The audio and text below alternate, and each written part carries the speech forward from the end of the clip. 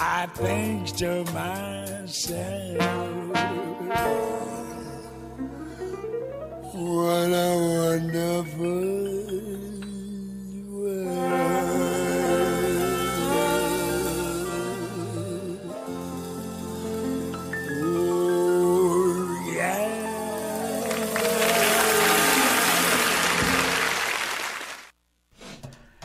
Muy buenos días amigos, nuevamente estamos en un programa eh, el domingo con Dialogando con Beni, una tradición de muchas décadas, este, siempre eh, manteniendo este espacio que desarrolló el licenciado Beni Frankie Cerezo para poder discutir a fondo asuntos trascendentes eh, para la ciudadanía. Benny era una persona extraordinaria porque Benny a veces a los programas invitaba hasta personas que eh, diferían de él y le daba el espacio con mucho respeto a fin de que haya un diálogo y se conozcan pues distintas perspectivas porque Benny recuerdo siempre decía que nadie tiene la verdad agarrada por el rabo y que a través del diálogo se pueden buscar soluciones eh, verdaderas a los problemas del país. Y Benny era un ambientalista natural. La primera persona o de las primeras personas que yo vi que tuvo sistemas de paneles solares fue Benny, que siempre estaba en la punta de lanza de la tecnología. La primera vez que yo vi un carro híbrido, lo vi con Benny porque tan pronto salieron tenía uno y a mí nunca se me olvida montarme en ese carro y me dijo, este, préndelo. Y yo lo prendí, no se sintió nada y yo no sabía si estaba prendido o apagado porque estaba eléctrico.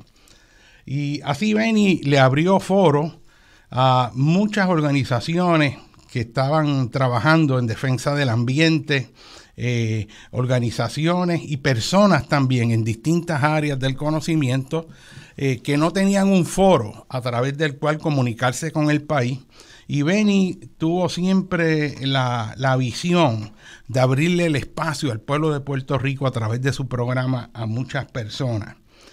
Y en este programa vamos a estar hablando de uno de esos temas que Benny se convirtió en un luchador extraordinario, como la lucha que se dio contra el gasoducto de la muerte este, y otras luchas ambientales que él dio a través de estos medios eh, pero hoy vamos a estar hablando de un asunto muy, muy, muy serio que va a tener muchas repercusiones en Puerto Rico y tiene que ver con el asunto de las violaciones a las leyes federales, locales, este, en el estuario de la bahía de Jobo. Este estuario comprende los municipios de Salinas y Guayama, pero es en el área de Salinas donde se ha planteado un asunto sumamente serio, donde las agencias de gobierno literalmente han arrastrado los pies y no han hecho nada efectivo para impedir la destrucción ambiental de los sistemas de mangle este, mediante el rellenamiento de estos terrenos, la destrucción, y de hecho esto continúa y se están dando un montón de situaciones bien complejas. Esto este, recientemente lo, trajo a la luz eh, la licenciada Mariana Nogales. Eh, no es nuevo, como ella dice, desde hace, desde el 2015 se está tratando esto, la NOA lo sabía, se informó a recursos naturales, los grupos ambientales de la comunidad han estado trayendo eso a la luz luchando, pero este, cogió eh, nuevo, una nueva perspectiva ante las investigaciones que está haciendo la licenciada Mariana Nogales en la Cámara.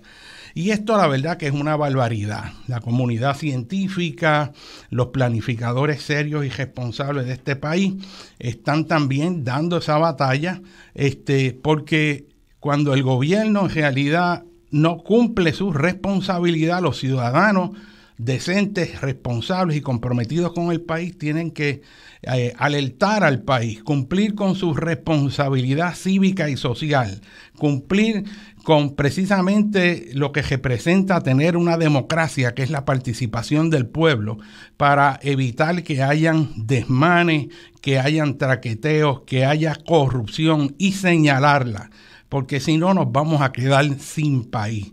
Y este país ya ha sufrido demasiado ha sido destrozado por tantas fuerzas que lo han dado para un lugar y el otro, que esto no puede continuar. Las costas en Puerto Rico. El sistema costero actualmente, a pesar de toda la experiencia que adquirimos luego del huracán María, que el que dudaba lo vio, el que tenía algún tipo de indiferencia de lo que son los peligros naturales, lo vio Luego vienen los terremotos a los cuales también la zona costera es muy sensitiva y sin embargo seguimos aquí como si nada hubiera pasado, como si nada hubiéramos aprendido. Y yo quiero hacer una nota aparte en estos programas. Yo se lo voy a dedicar a una persona que yo llevo en mi mente por muchos años. Y fue una joven estudiante que falleció cuando era estudiante en la Universidad de Puerto Rico. Y siempre yo, cada vez que veo un asunto de la costa, me viene esa niña a la mente con mucho sentimiento. Y su nombre es Miguelina Pomales Alvarado. Yo quiero dedicarle, donde quiera que esté ese ser, que estoy seguro tiene que estar en un lugar de bien, quiero dedicarle este programa. Y Miguelina, yo la conozco el primer año de la universidad. Esta niña es de allá de Guayama y esta niña conocía la costa de Guayama, conocía la costa de Salinas. Y ese primer año de universidad viene a verme, pues esta joven que está entrando, acabada de salir de escuela superior, y me trae un proyecto que tenía donde ella presentó eh, todo una idea de cómo proteger las costas de Puerto Rico. A mí me impresionó de esa joven el interés tan increíble, el compromiso. Y lo más que me impactó, que nunca se me, me olvida, es que ella me dijo, yo vine acá a la Facultad de Ciencias Naturales en la Universidad de Puerto Rico porque yo quiero dedicarme a defender las costas de Puerto Rico. Y eso a mí me impactó porque una joven acaba de salir de escuela superior con ese compromiso, con esa energía, con esa vitalidad, con esa claridad de mente, con ese foco que era, ella quería dedicarse a salvar y proteger las costas de Puerto Rico. Ella había participado en un concurso y ella quedó segunda. Me dijo también que los jueces después fueron donde ella y le dijeron que su proyecto había sido el mejor y que debió haber sido primero. Pero que hubo una persona allí que pensó que era muy radical lo que ella proponía que la cuestión de controlar las construcciones en la costa, eso era muy radical y que eso pues no iba a ser. Y por eso no le dieron el primer premio. Y ella se quedó sin entender claramente qué fue lo que pasó. Y esa nena, bendito, me trajo el proyecto para que yo lo viera y le dijera qué fue lo que hizo mal. Yo la vi tan entusiasmada y seguimos hablando que yo le dije, tú has estudiado geología, geomorfología, porque ella iba para biología marina. Y yo le dije, eh, vente al curso que yo estoy dando de geología, porque tú necesitas entender sobre la erosión, sobre las playas, sobre la costa, sobre los arrecifes, sobre los sistemas naturales y, y, la geología te da una base extraordinaria para luego entender los procesos ecológicos y después los procesos humanos de cómo interactúan. Me sorprendió que ella en la próxima clase estuvo allí antes que todo el mundo se sentó al frente y venía a mi clase de geología, que era más avanzada, de tercer año, y ella acabada de entrar estaba allí todos los días. Desafortunadamente, un día después de los que ya venía a mi clase, eh, veo esa triste noticia en el periódico y me doy cuenta que era ella. Y siempre se me quedó eso en el corazón.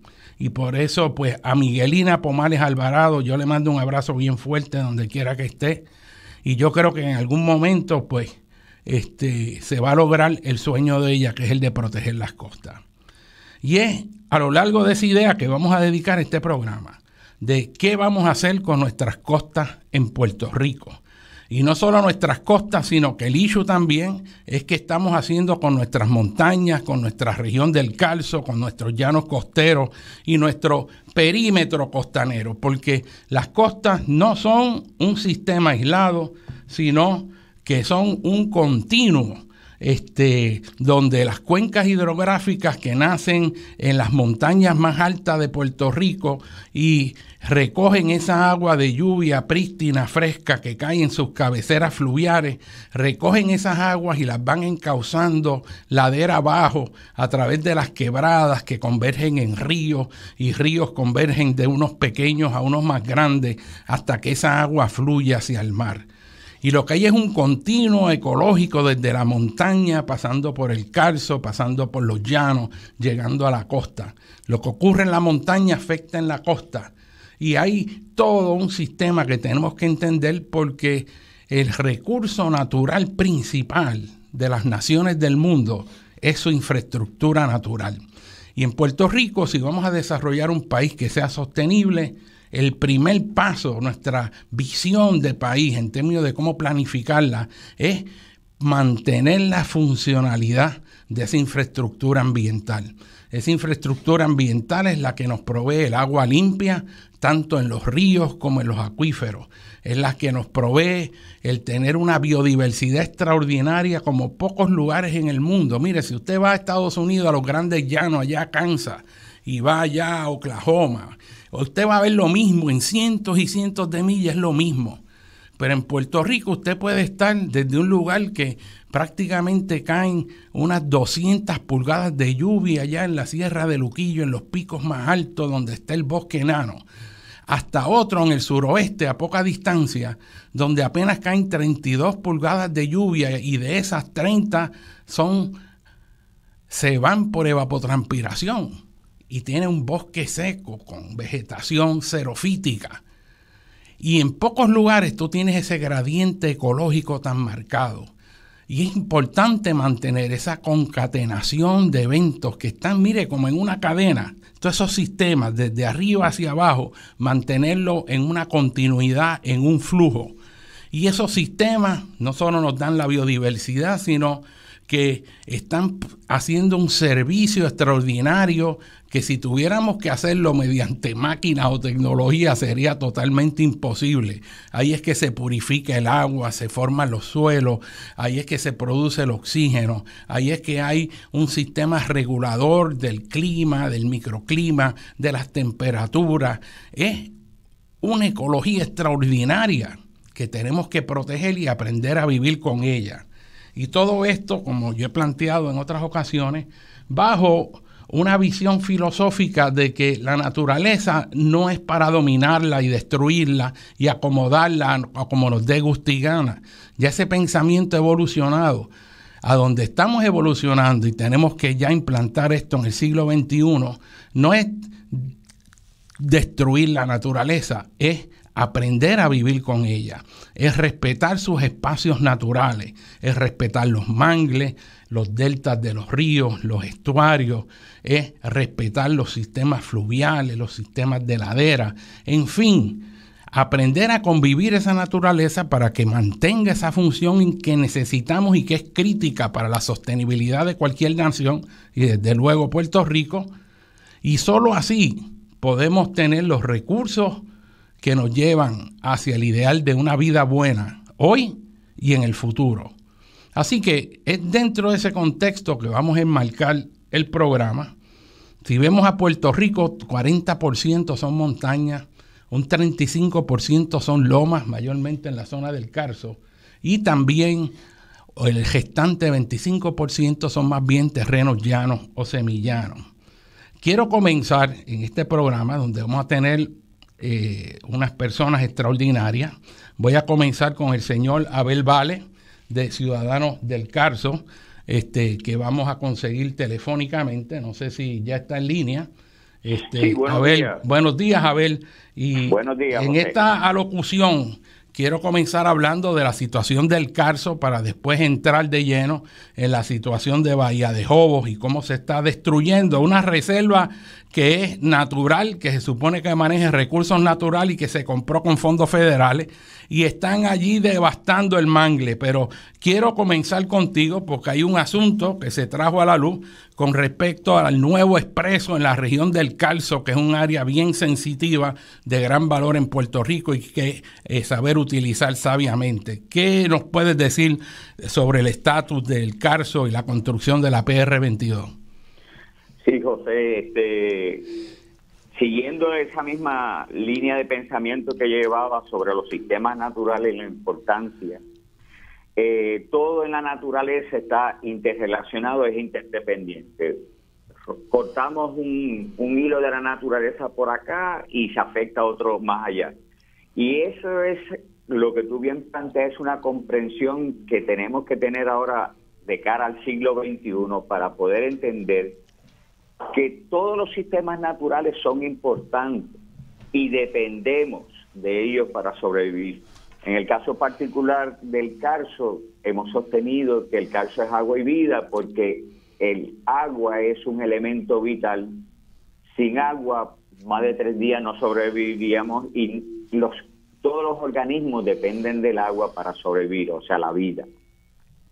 Y entonces tenemos que como tú bien planteas, cómo nosotros debemos planificar para tener eh, un sistema saludable. No puede ser de la forma en que se han estado haciendo las cosas.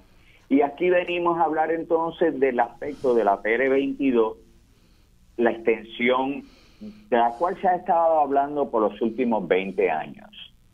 En Puerto Rico tenemos eh, por kilómetros cuadrado quizás uno de los sitios que más carreteras tenemos y porque no hemos tenido una planificación sabia, nos congestionamos innecesariamente.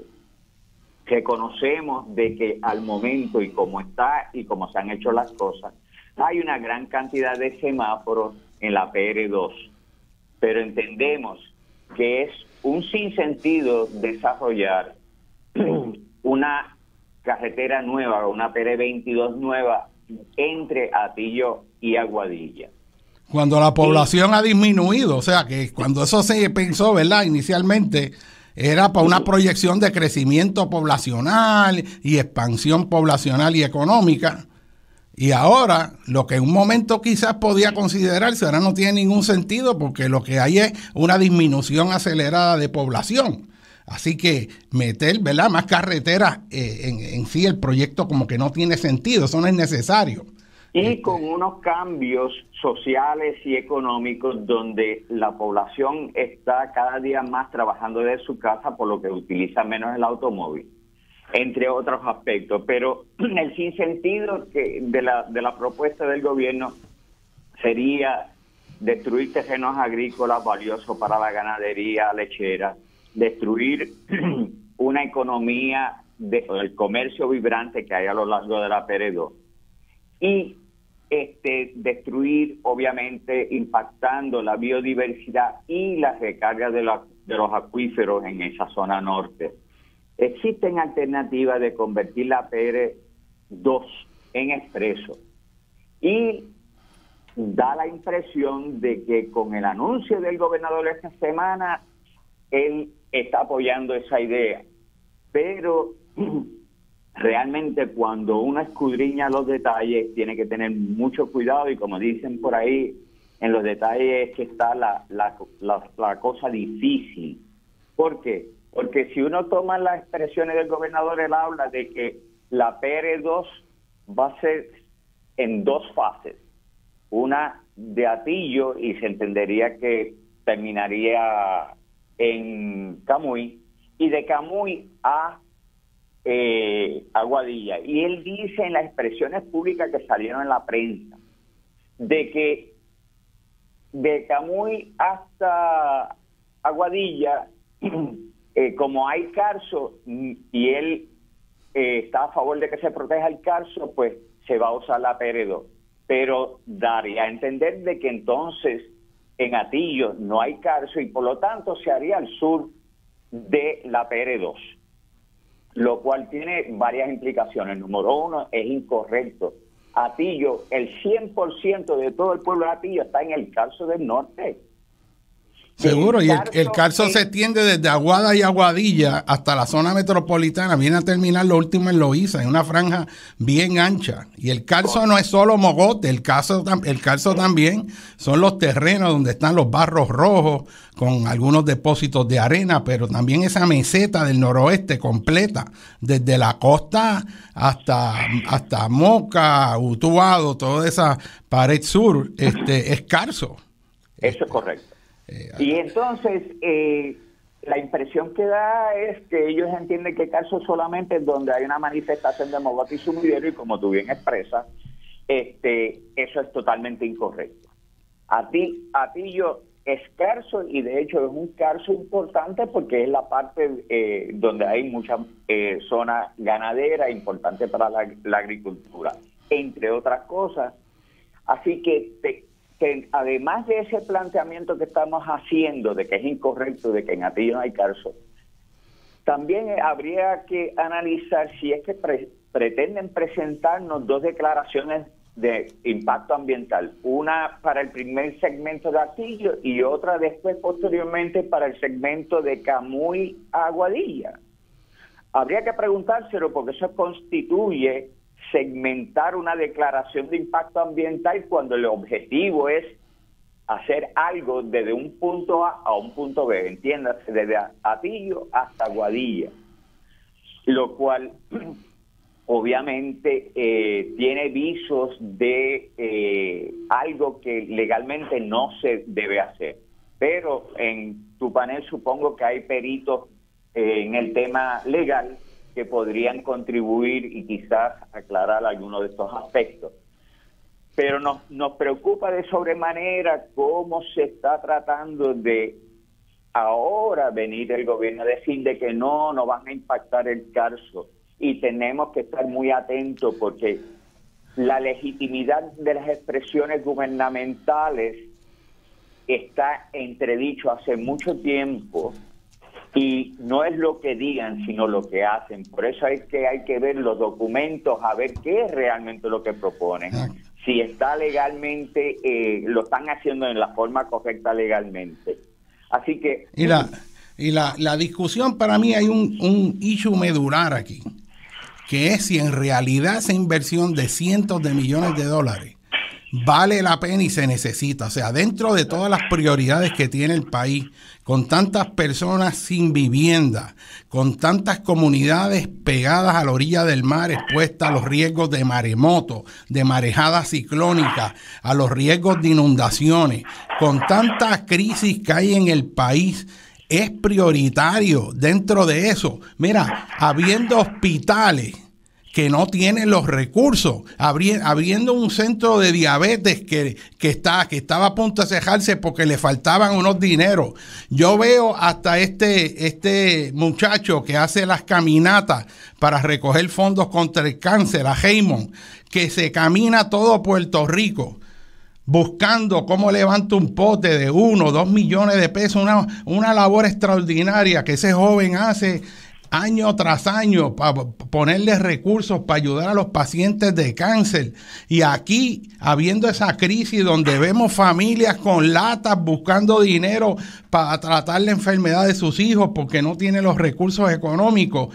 Y aquí la prioridad va a ser gastar cientos de millones de dólares en una autopista, en más cemento que no se necesita en donde la cantidad de personas en el país ha bajado en medio millón y ahora vamos a construir más autopistas para conectar un punto que no es un polo económico que requiere transportación masiva para poder llegar a los lugares. O sea, eso no tiene sentido. Eso es un proyecto que tal vez hace 20 años cuando se concibió o se pensó, pues quizás caía cuando se creía que esto iba, vamos, íbamos a tener ya 5 millones de habitantes y que esto iba a ser más cajos y más cemento. Pero hoy en día el cuadro de Puerto Rico es totalmente diferente. Eso es totalmente innecesario. Es una pérdida de recursos cuando se pueden utilizar de forma óptima para otras necesidades fundamentales del país. Y, eso es sumamente importante. Estamos hablando de, eh, José, de 1.200 millones de dólares. Esos son los estimados y todos sabemos... 1.200 millones de dólares. Correcto, y todos sabemos en Puerto Rico que los estimados siempre se quedan por debajo porque el tren urbano se suponía que costara unos mil millones de dólares y todos sabemos que la cantidad casi se triplica. Así que tenemos que tomar con mucho cuidado y como tú bien planteas, son 1.200 millones de dólares con unas necesidades muy grandes que tiene el país de eh, sacar a personas de áreas inundables, de otras necesidades de salud y de educación bien apremiantes y que no se atienden. Y vale la y hay que aclarar un punto, esto no es de los grupos ambientalistas que se oponen. Cinco alcaldes por donde va a pasar dicha carretera se están oponiendo al proyecto. Así que no, esto es un, un asunto de sentido común de dónde vamos a invertir el dinero para que le rinda mejor al pueblo de Puerto Rico y no a un grupo de los que históricamente han llevado este país a la bancarrota y los cuales tienen muy poca credibilidad hoy día. Yo estoy totalmente de acuerdo. A mí me parece un absurdo, una falta de visión de conjunto, una falta de entendimiento claro de las prioridades que tienen que haber en Puerto Rico. ¿Cómo es posible?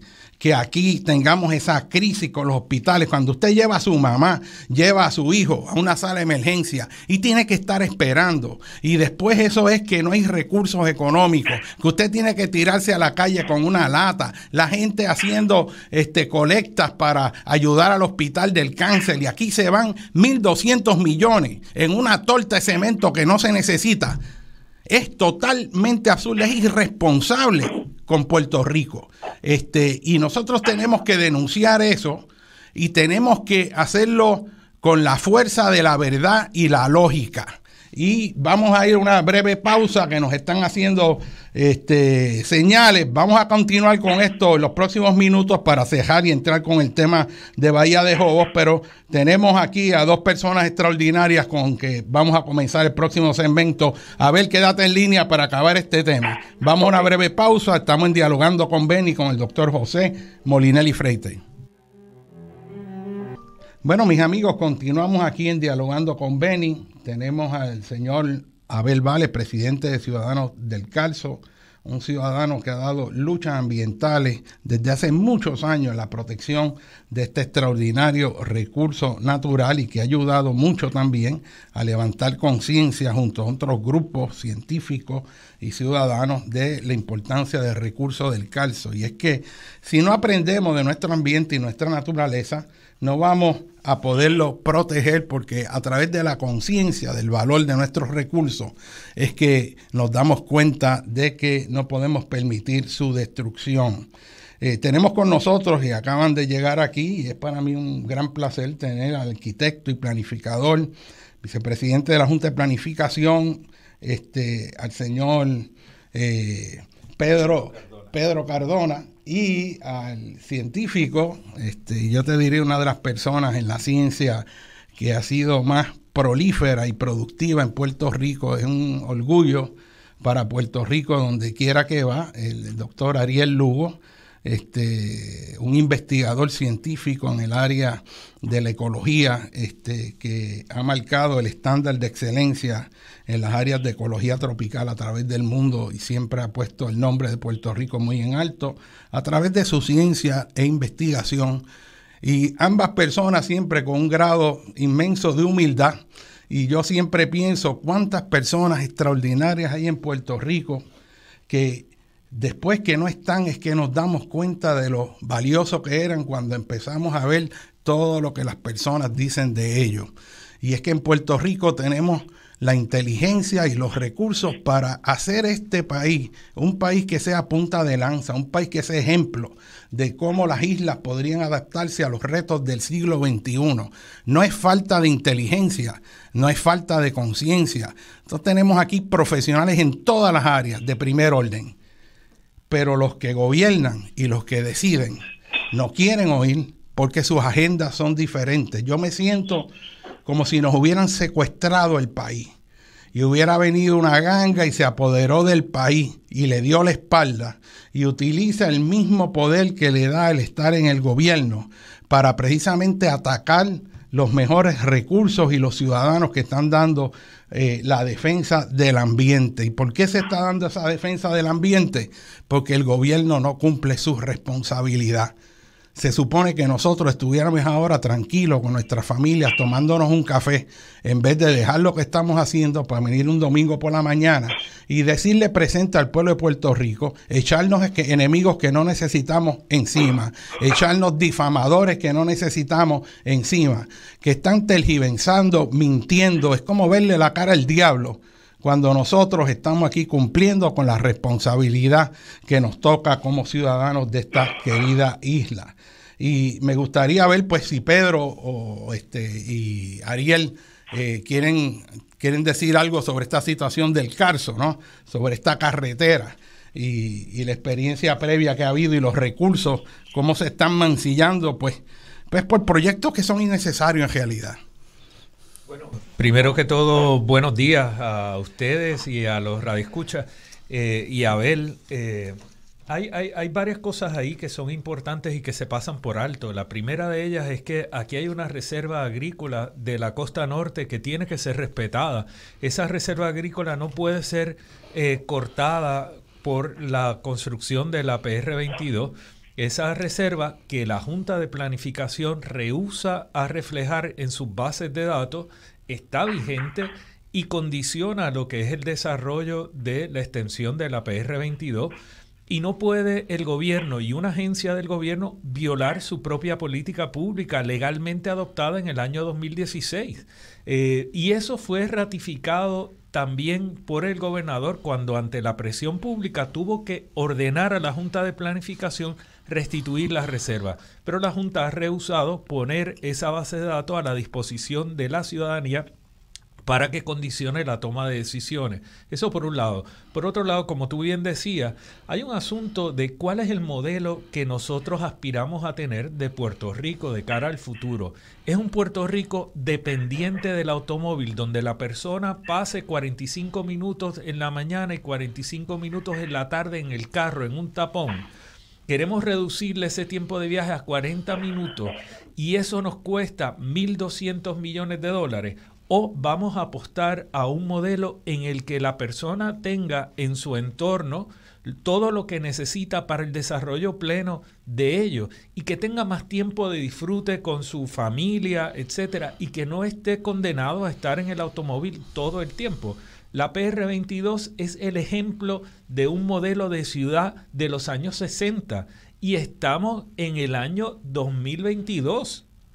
Por amor a Dios, nosotros tenemos que reconocer esa realidad y planificar y, visualizar un futuro distinto al que tenemos ahora porque vivimos en una circunstancia muy desfavorables para el desarrollo pleno de la sociedad, así que tenemos que cambiar. Y, y ahora mismo el gobierno buscando recursos económicos está diciendo que van a privatizar también este, los peajes que son de, de la autoridad de carreteras del gobierno para también obtener más dinero. Entonces que vamos a hacer otra autopista para gentársela de nuevo a gente extranjera para entonces que nos den algún dinero. O sea, vamos a invertir todo ese capital, 1.200 millones, si es que fuera eso, para que entonces nos den 40 millones al año y ellos se ganan todo lo demás. O sea, es, es un gobierno que ha sido secuestrado por una gente que quiere enriquecerse del país. Y eso es lo que está pasando y eso es lo que hay que discutir. Sí, este, José, mira, eh, yo cuando, cuando escuché al gobernador decir que el caso no se iba a afectar, por las alternativas que están considerando, me caí de la silla, porque eso es patentemente falso por lo que ustedes estaban discutiendo, que eh, toda esa región es cárcica. Entonces, pero el hecho de que el gobernador diga que el caso no se va a afectar, eh, demuestra que este gobierno y todos los gobiernos, incluso yo incluyo agencias federales, están operando con ese modelo de, los 60, con ideas del 60, ideas obsoletas. Cuando viene María, yo pensaba que con la, con la entrada de dinero, Puerto Rico iba a aprender del momento, dar un giro y utilizar todos los fondos federales para, para ponernos en una situación con una nueva visión. Con una nueva visión y de un país sostenible, bien planificado. no repetir lo mismo. Porque tenemos los, los, talentos, como tú dices. Mi sorpresa es que ellos están utilizando el dinero para implantar las ideas del 60, porque ellos no, no, no, no reflexionaron lo que pasó.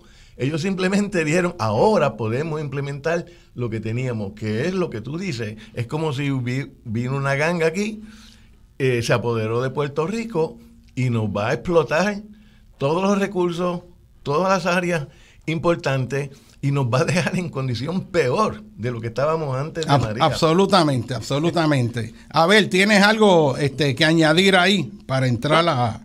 Creo, que, creo, creo que lo han expresado perfectamente y son la, tanto lo que Pedro Cardona Roiga ha indicado y el doctor Ariel Lugo, eh, compartimos plenamente esos planteamientos y de hecho, eh, como tú bien expresabas, este, el doctor Lugo eh, ha sido un gran científico y del cual él, junto a otros peritos que Puerto Rico tiene, que son muchos, hemos aprendido y hemos logrado como organización divulgar esa información de la importancia que es proteger el calcio pero los dejo en, manos de dos seres humanos extraordinarios. Adelante. Gracias, Abel, y mantenemos esa lucha por el calzo que es tan importante. este, eh, en esa región del calzo también, en la zona costera, a mí nunca me dejó de impactar cómo eh, se siguen aprobando permisos en la bajura, en Isabela. Todo un sector que desde hace más de 50, 60 años se vio y yo te diría una de las áreas costeras que fue impactada brutalmente eh, a fines de los 50 y los 60 por la extracción masiva de unas dunas gigantescas de arena que había allí, que eso hoy en día hubiera sido un punto de atracción turística extraordinaria. Y protección de la gente que vive detrás. Y la, y la protección, pero había un sistema de dunas eh, los más grandes de Puerto Rico, este, y se eliminaron las dunas para venderlo para material de construcción y relleno, este, dejando sin protección costera este, a las comunidades que estaban en la parte posterior tierra adentro. Es una zona también que es una terraza este, marina y esa plataforma que le llaman la bajura. Eh, ahora mismo están aprobando proyectos de construcción ahí, eso son zonas expuestas a marejadas, eh, tiene un potencial tsunamigénico grande. Si nosotros planificáramos inteligentemente, o sea, en vez de colocar más infraestructura en zonas que podrían ser barridas por un maremoto, se podrían colocar inteligentemente arriba en la meseta y que la parte de abajo quedara natural y la gente tuviera acceso a las playas. Pero esa idea, esa obsesión de meter la casa en la misma orilla, que tú saques los pies de tu casa y estás ahí mojándote los pies al lado del mar, este, es algo que, tiene que, detenerse. Pues dado todo este contexto, yo quiero moverme ahora a uno de los muchos asuntos eh, que se están discutiendo sobre la costa. Sabemos que eh, el número de permisos que se está dando en la zona costera es una cosa desorbitante. Este, hay estudios que han salido y publicados en la prensa con respecto a esa aceleración en la concesión eh, de permisos este, en proyectos de la costa. Sepan ustedes que desde el punto de vista geomorfológico y ecológico también, las costas son los sistemas más dinámicos. Las costas es donde se encuentran los sistemas terrestres con los sistemas marinos, con el sistema sistema atmosférico y los sistemas subterráneos. Ahí convergen los acuíferos, los ríos, este, los manantiales, ahí convergen eh, la marejada, las olas, el mar, ahí converge la energía del viento que trae las olas. Y es un sistema dinámico que se va reajustando continuamente a los procesos tectónicos, los procesos de cambio en el nivel del mar y son áreas también de un valor ecológico extraordinario por los flujos de nutrientes que a través de ellas se intercambian. Y esas áreas son extremadamente sensitivas, son a su vez áreas que tienen gran atractivo turístico por, por la belleza de sus áreas, por la pesca, por los paisajes, por la biodiversidad y hay que proteger ese recurso porque Puerto Rico lo tiene en abundancia a pesar de toda la devastación que ha habido histórica. Todavía nos queda, pero lo poco que nos queda seguimos destruyéndolo sin ningún aprecio. Y en este momento, peor que nunca, porque hay leyes para protegerlo. Hay leyes que se supone que se cumplan, que protejan esos ecosistemas, los humedales, que protejan las dunas, eh, que controlen inteligentemente la construcción.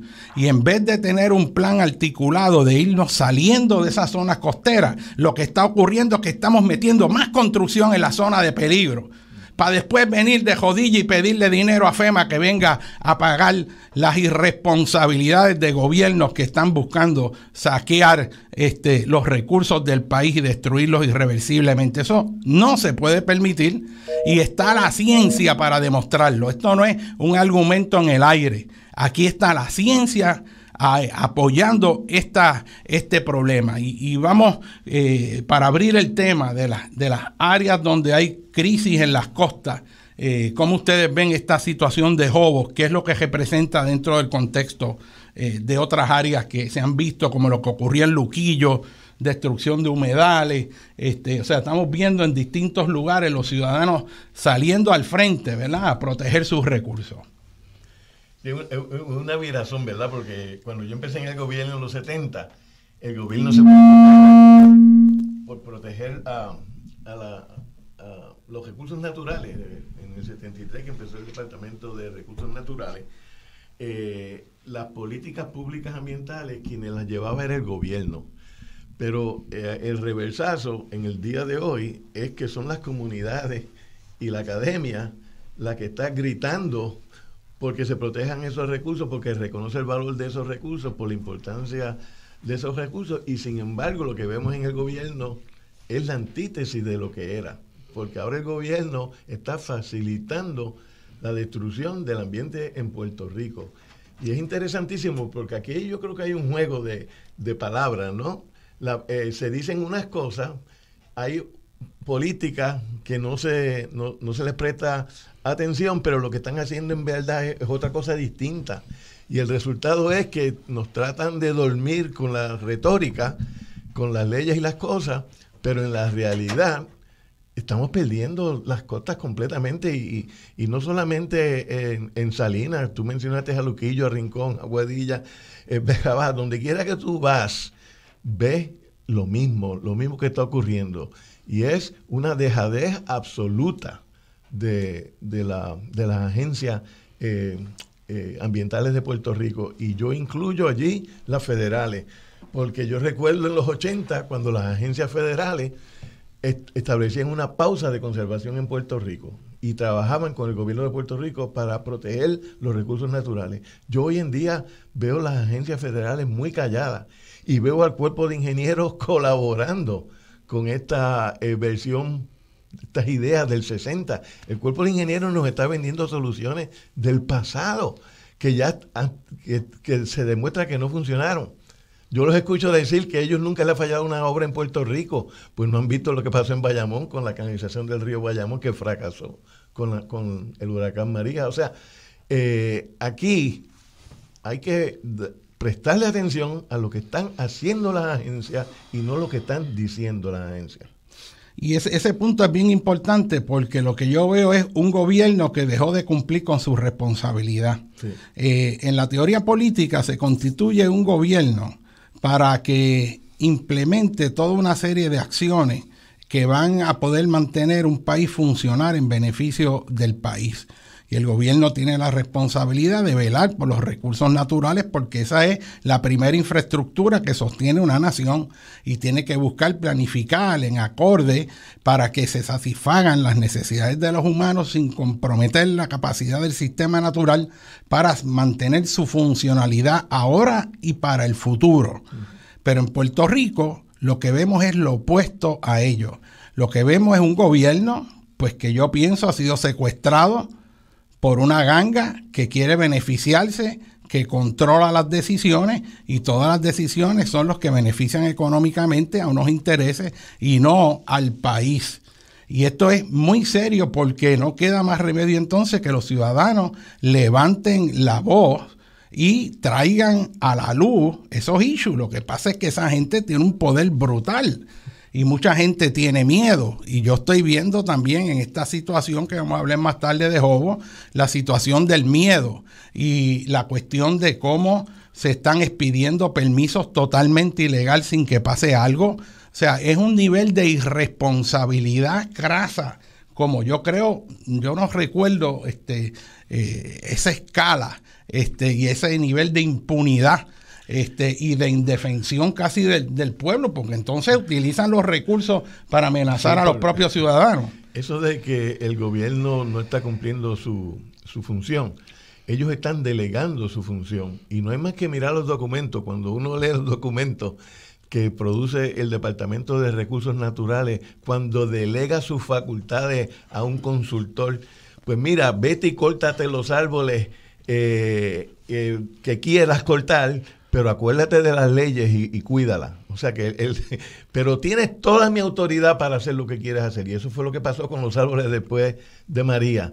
Igualmente, uno ve los acuerdos que el gobierno hace con, distintas empresas, los permisos que da, que siempre dicen, pues le, le, le transferimos la autoridad para hacer lo que usted quiere hacer o tenga que hacer, pero no se olvide de las leyes. Miren, eh, yo, creo que aquí hay varias cosas. Ustedes han planteado como una pregunta, pero realmente yo creo que hay que hacerlo como una expresión categórica de que en efecto aquí vino una ganga y se apoderó de Puerto Rico.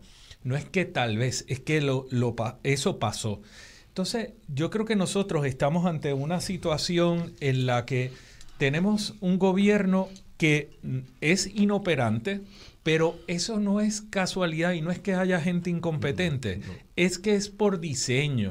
Eso se, se quiso que fuera así.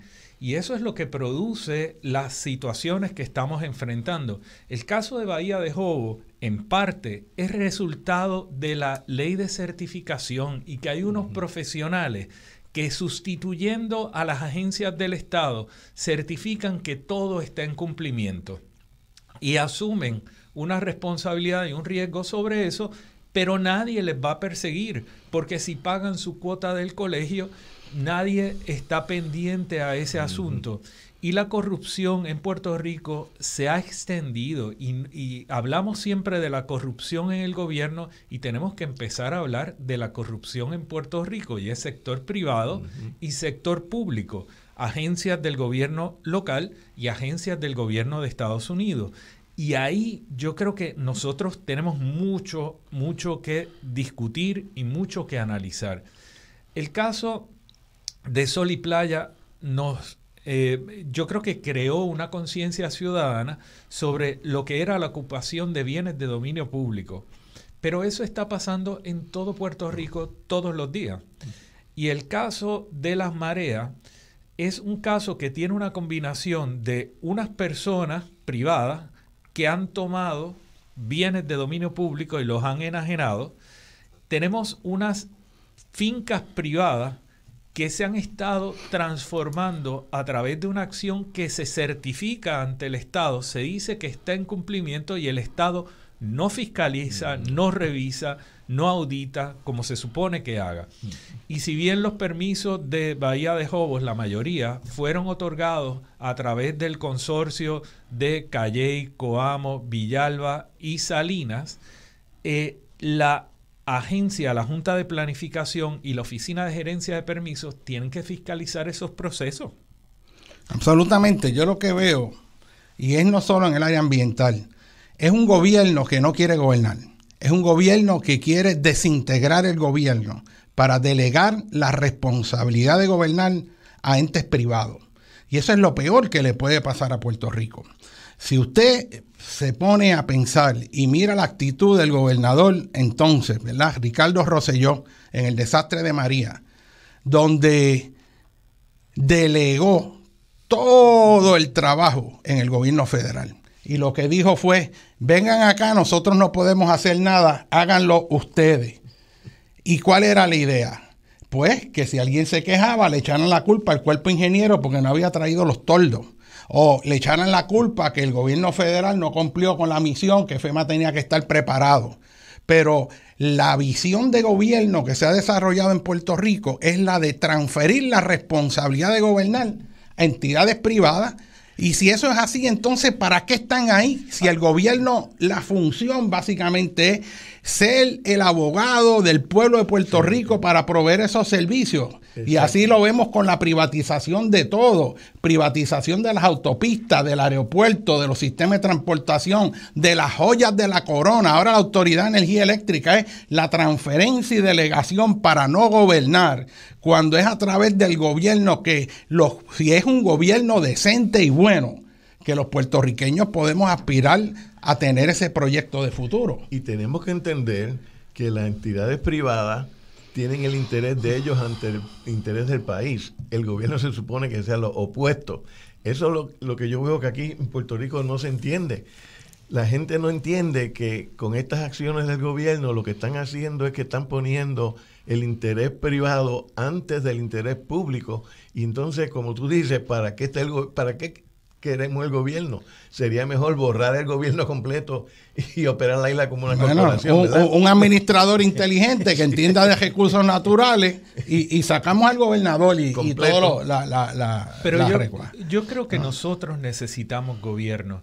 Y, hay una, una parte de, mí que siempre busca eh, el enfatizar que lo que necesitamos es tener un buen gobierno con gente capaz. Llevamos años donde nosotros tenemos a líderes eh, o a personas que lideran el país que no son líderes, que carecen de liderato, que no subieron a la posición porque construyeron un liderato sobre unos temas. Son personas que las maquinarias políticas han llevado a través de la inversión que hace el sector privado en la candidatura de unas personas, les han llevado a puestos de poder y vienen totalmente comprometidos con el repago de esa aportación económica que se hizo a su candidatura.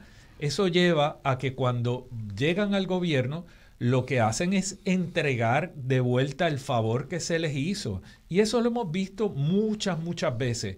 Eso también tenemos que empezar a discutirlo abiertamente en Puerto Rico para que la ciudadanía cobre conciencia de cómo es que llegan estas personas.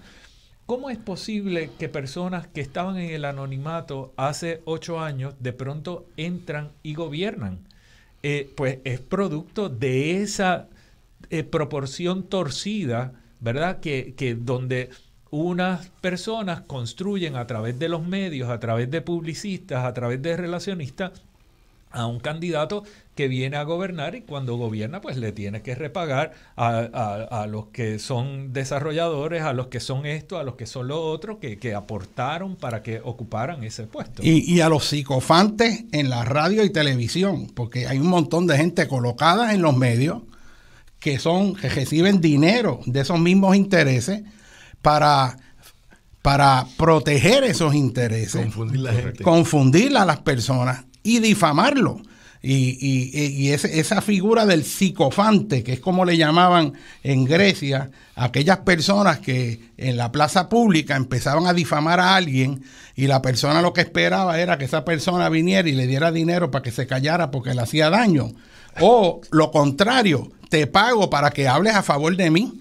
Y, y eran personas que utilizaban su capacidad de comunicación para difamar o lograr objetivos específicos.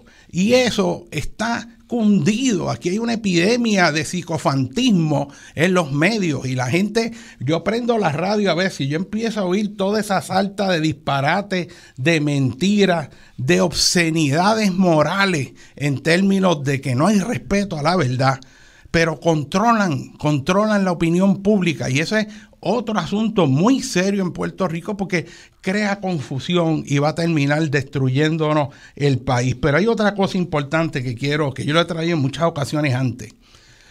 Cuando se respetaban los gobiernos en Puerto Rico, cuando habían honorables, cuando la mejor gente que había en el país se ponía para servirle al pueblo y eso ya ocurrió. O sea, una época, esa primera época de Muñoz, independientemente de los errores o logros que hayan habido, pero ese gobierno inicial de Puerto Rico reclutó las mejores cabezas con un proyecto claro para dejar un país mejor que lo que lo cogieron.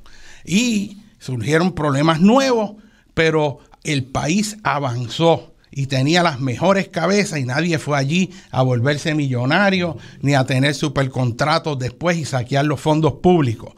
Ya nosotros hemos hecho, de hecho, Puerto Rico en un momento fue punta de lanza, un ejemplo de cómo salir de la pobreza, cómo educar a la población. En Puerto Rico se creó una clase media. Hoy en Puerto Rico está desapareciendo una clase media, está despoblándose el país y está en pleno deterioro por la corrupción de ese grupúsculo que se ha apoderado de la estructura de poder, engañando no solo a los opositores, sino a los de su propio partido, como decía el gobernador en un chat que cogemos de tontos, no solo a los opositores, sino a los nuestros también. Pues una vez se trepan allí, nos cogen y nos destruyen el país. Y por eso es importante dar la voz sobre ese tema. El tiempo avanza, vamos a una breve pausa. Estamos en dialogando con Beni.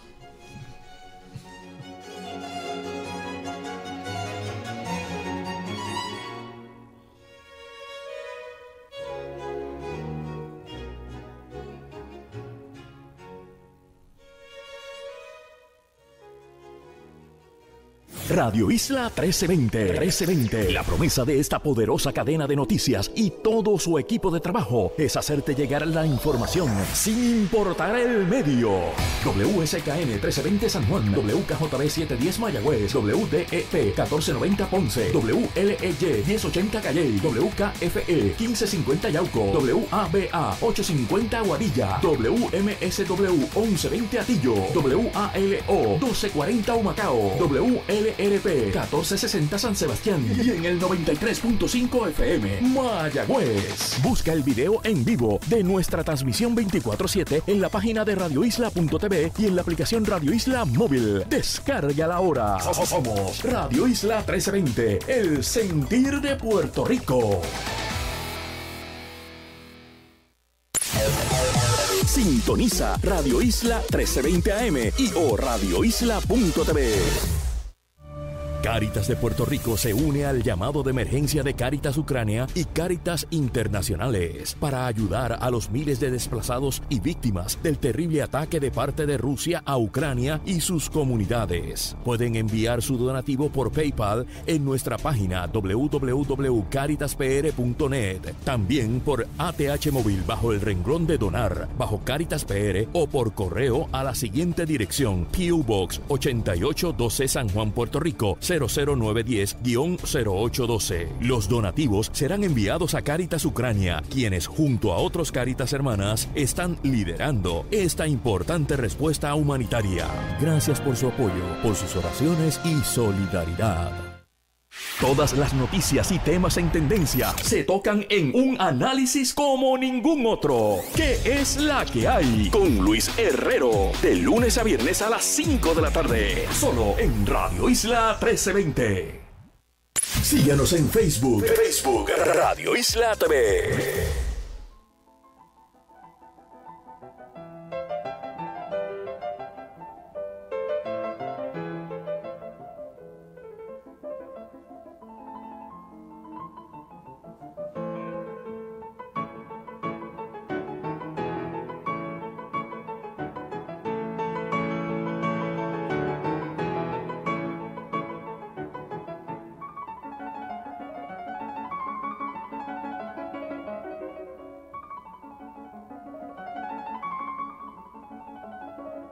Bueno, mis amigos, continuamos nuevamente aquí en Dialogando con Beni.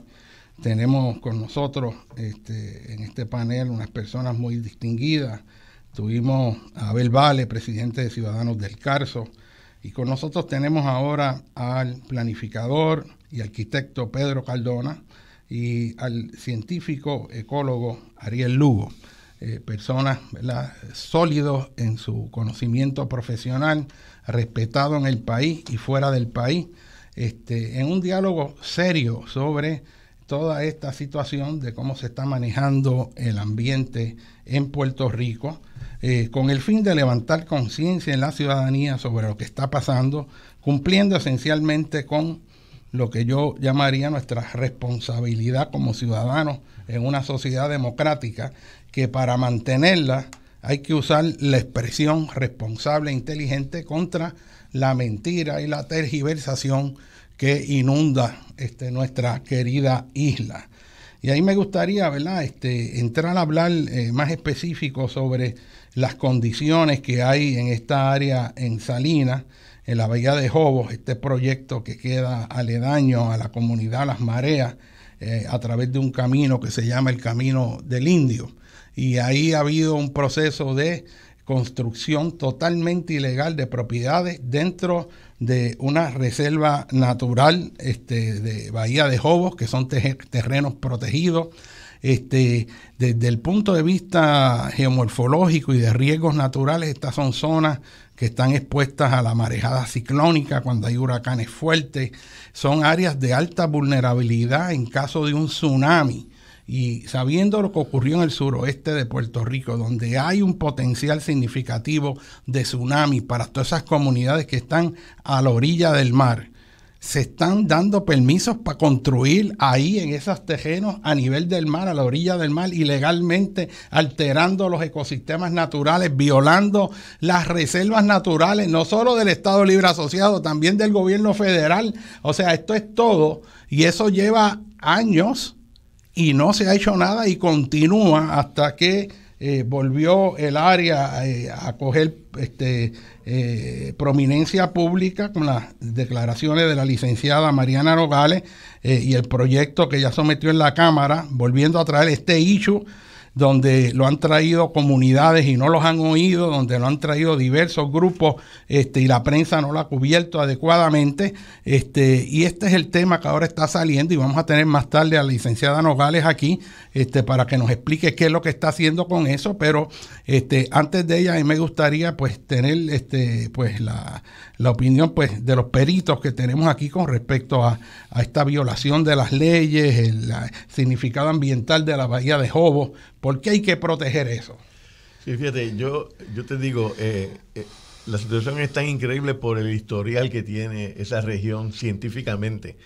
Porque no sé si la gente se acuerda, pero allí se iba a ubicar un, un reactor nuclear por la Autoridad de Energía Eléctrica. En Aguija. En, en los años 60. Eso es parte de, de Jobo. Y eh, típicamente el gobierno compró el, reactor y lo almacenó allá en Europa. Y no se habían dado cuenta que hay una falla eh, la, falla de Salinas. Y eso pues eh. paró, paró ese, ese proyecto y entonces el gobierno de Puerto Rico pagó renta por décadas allá en Europa por el, por el reactor que compró.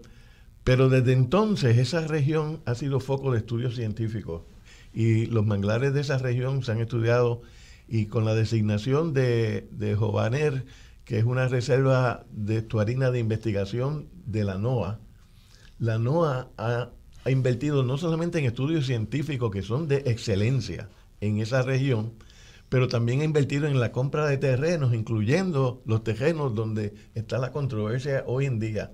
O sea que estas personas, que, obviamente no, tienen temor a nada, ellos invadieron un terreno que los federales habían pagado por ellos. Para la gente que no sabe, la NOAA es la...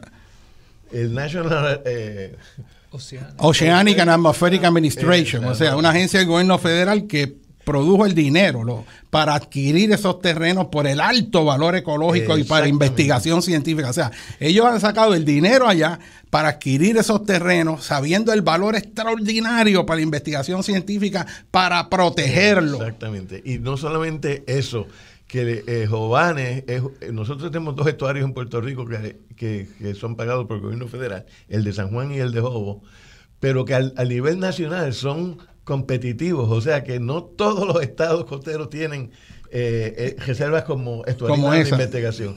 Y llevan más de 10 años invirtiendo dinero allí en, la infraestructura, en los programas científicos y hay un grupo de puertorriqueños que son excelentes. Que, manejan esas reservas, que tienen programas educativos, que tienen programas investigativos y atraen científicos de todas partes del mundo para hacer investigación allí. Es otro pequeño yunque que tenemos. Tenemos a Guanica, el estuario, el yunque. Son joyas ambientales, pero también científicas para este país. Y en el medio de todo, del éxito que han tenido todos estos programas, viene un grupo de personas y empiezan a aplanar los manglares en, en, terrenos adquiridos por el gobierno federal y por supuesto el gobierno federal no se queda callado cuando eso ocurre. Hace tres secretarios de recursos naturales que esto se está bregando. Esto no empezó ayer, esto simplemente reventó recientemente. Pero los secretarios de recursos naturales han estado sistemáticamente amañando la cosa y no permitiendo que los procesos de sacar a esta gente se muevan a la velocidad que debiesen de haberse movido. A mí, es, a mí me recuerdan los secretarios de recursos naturales que estaba anteriormente, la, la señora, la sacaron por un escándalo de corrupción y a quien ponen es a otra persona que va a mantener la misma política. O sea que, que aquí hay una cosa importante. Pregúntense ustedes por qué no hay un Ariel Lugo a cargo de los recursos naturales de Puerto Rico. o por qué no hay tantos científicos capaces, gente profesional de verdad. ¿Por qué a quien cogen es alguien que no sabe nada y lo tiran de globito ahí? Y es porque son sellos de goma. Esa gente no está para proteger los recursos naturales, sino para hacer un sello de goma de lo que le digan. Sí, eh, es importante también recordar que desde el año 1981 está la reserva de Jovaner. Y la reserva de Bahía de Jobos y Mar Negro eh, es una reserva extensa e importantísima. Hay terrenos que son privados en reservas en Puerto Rico y le aplican exactamente las mismas restricciones y criterios que le aplican a los terrenos que son públicos. Y eso muchas personas lo han pasado por alto. En una propiedad privada no se tiene un derecho absoluto a hacer lo que a ti te venga en gana y lo que tú quieras. Máxime cuando está dentro de un sistema natural y es un sistema natural reconocido y frágil. Pero aquí hay un problema y es que igual que como hablábamos en el caso de la PR22, la Junta de Planificación no tiene en las bases de datos claramente ilustrados los límites y las condiciones de la Reserva Natural de Jovaner. Y eso hace que cuando se están gestionando unos permisos, bien sea en el consorcio de Calle, Coamo, Villalba y Salinas, o a través de la OCPE o la Junta de Planificación, que los técnicos que están viendo los datos digan, bueno, ahí no dice nada y por lo tanto yo no tengo que cumplir. Eso no exime de la responsabilidad, pero da una buena excusa para que alguien diga, bueno, es que ahí no dice nada, ¿no? Y, hemos visto que eso se utiliza como subterfugio para lograr que estas cosas sucedan.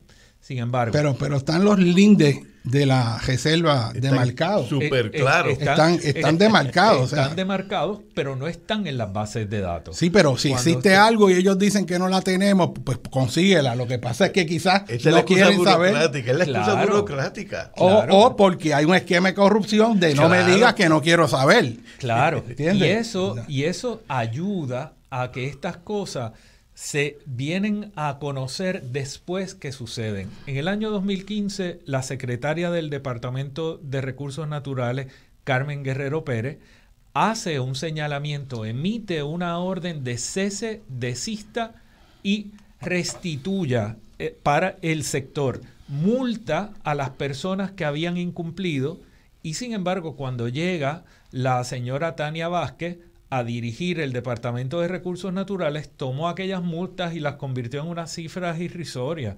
Eh, la multa la convirtió en cifras de 3 mil dólares, cosas así. Las aguó totalmente para que no fuera. Y entonces, obviamente, no, no, no insistió en el asunto de cese, desiste y restituya.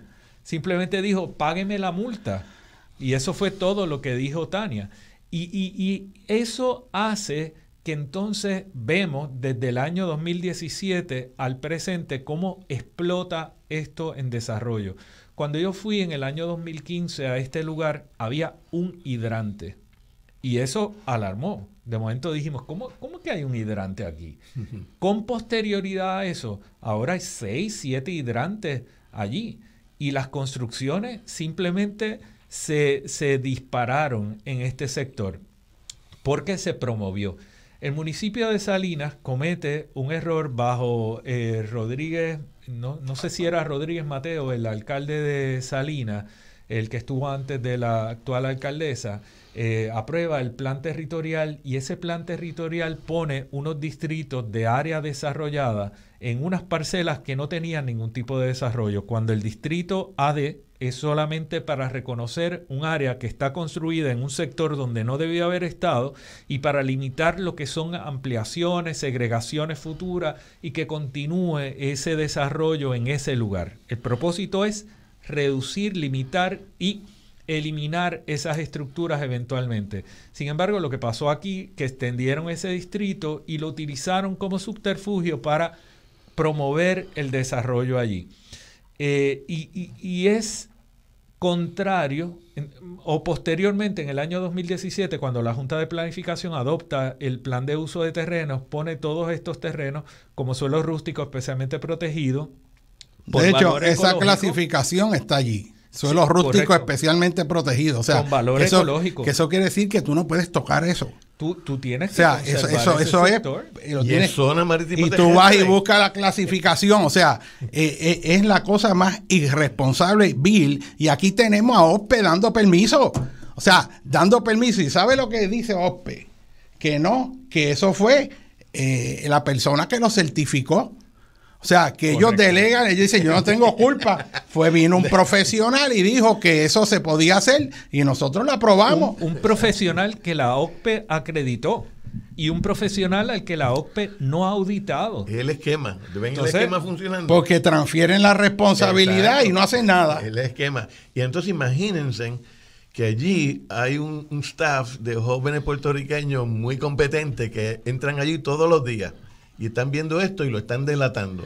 Y están trayendo los vigilantes de recursos naturales y están haciendo confrontaciones diarias, tratando de, de, tener esto mientras el esquema funciona avasalladoramente en contra de ellos. Y por eso yo digo que aquí hay que diferenciar entre el, el, staff de las agencias que está en el en algunos de ellos que son Ese los buenos, punto es bien importante. Que son buenos y que están tratando de proteger a Puerto Rico y sus supervisores en esferas más altas que están trabajando el esquema. El esquema que a la larga va a entregar. A Eso es así. yo veo la frustración en los empleados de recursos naturales, este, técnicos excelentes que dan las recomendaciones que son, pero cuando va a los niveles más altos, todo eso se neutraliza, no hacen caso.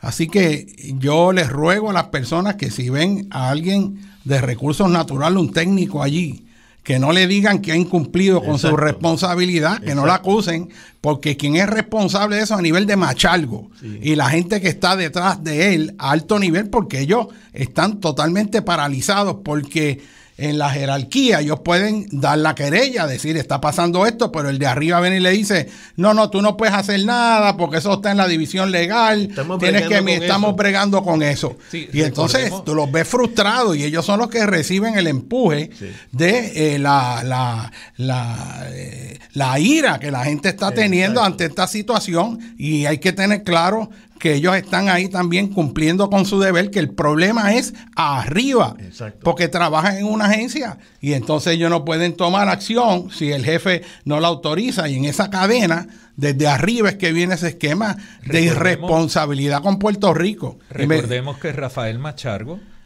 ha sido respaldado reiteradamente por el gobernador.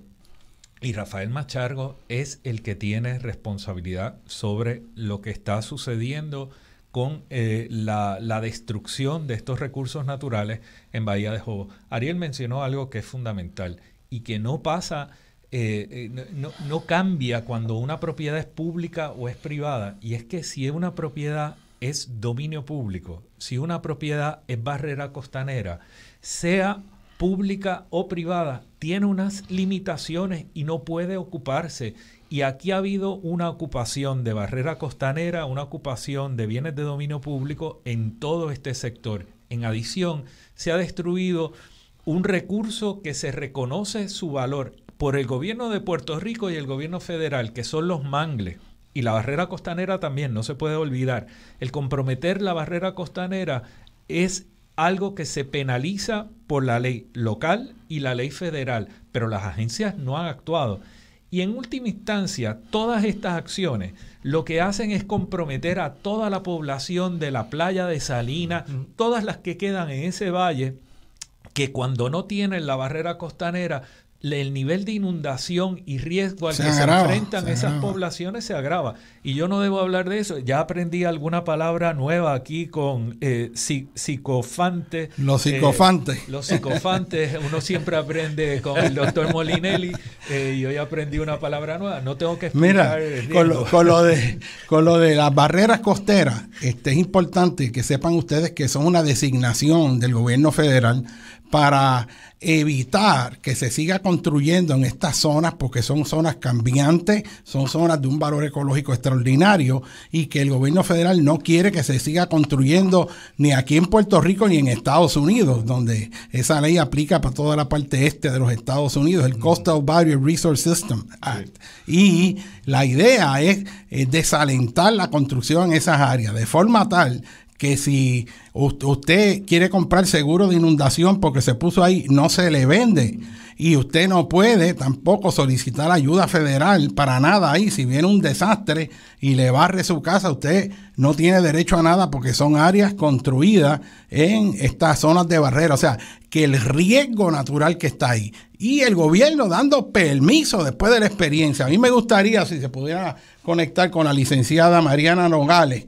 Este, no sé si está en línea, pero que la podamos llamar porque es importante eh, saber a través de la acción legislativa este, qué se está haciendo en la legislatura para lidiar con este asunto, porque yo lo que capto en todo esto es una frustración de los líderes ambientales que han tratado este hecho allá en la comunidad, este, frustración de los científicos, de los técnicos en las agencias, tratando de que se haga algo y pasan años y sigue la destrucción y no ocurre nada, el gobierno mirando para otro lado. O sea, esto si no se saca públicamente, esto se queda callado.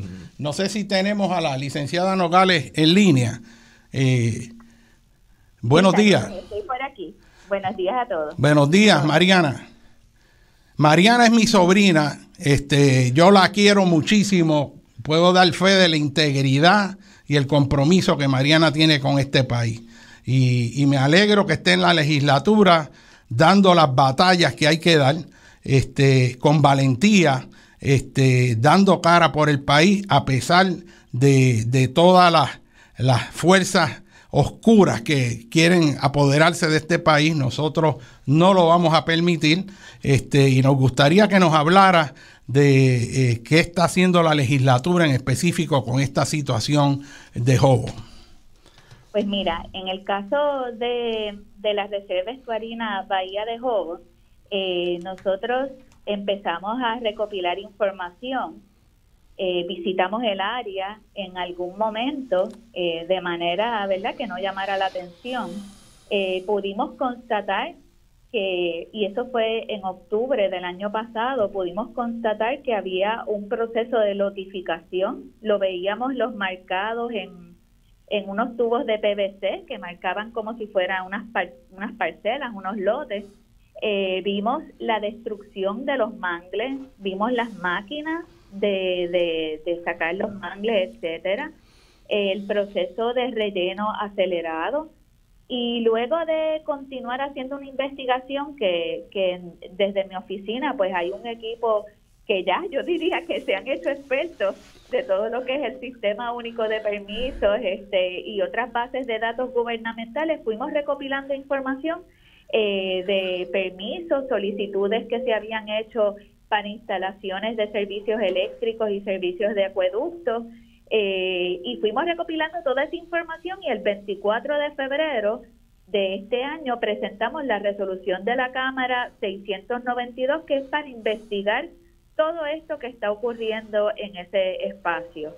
Eh, sin embargo, ¿verdad? Estábamos esperando a que la representación que había hecho el licenciado Machargo de que iba a atender el asunto, eh, pues lo iba a cumplir. En octubre, en octubre visitamos el lugar, en noviembre enviamos una carta a la NOA eh, solicitándole una reunión, incluso dispuestos a salir del país y reunirnos fuera de Puerto Rico para hablar sobre este aspecto desde noviembre al día de hoy nunca nos contestaron esa comunicación y, enviamos una comunicación oficial eh, como representantes. Eh, y eso nos estuvo muy curioso. Eh, estuvimos en comunicación con, ¿verdad? Este, las personas que por seguridad de ellas, pues no vamos a indicar sus nombres, para ver cómo iba moviéndose la cosa allí y, bueno, y nos dimos cuenta de que ese anuncio que había hecho el secretario Machargo en octubre, donde anunciaba una intervención, era un acto de sabotaje intencional para que ya la gente estuviera advertida de que iban a intervenir. Y eso es como una locura. Cuando se interviene, se interviene y sin aviso, ¿no?